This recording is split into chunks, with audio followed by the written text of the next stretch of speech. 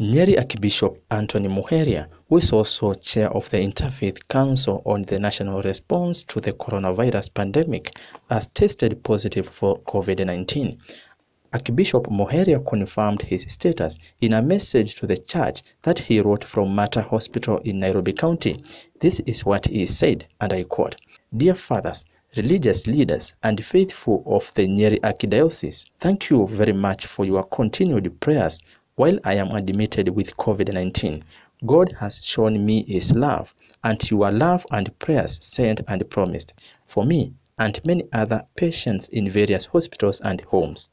I plead with you to continue praying for all our brothers and sisters who may be going through a difficult time. Thank you once more.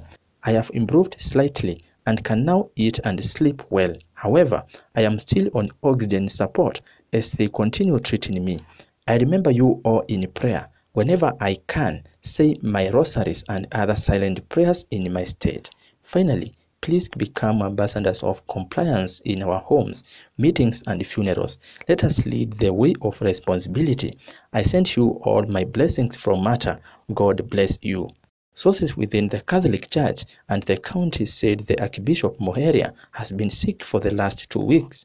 He has been at the forefront of promoting safety guidelines, especially following the phased reopening of worship centers across the country.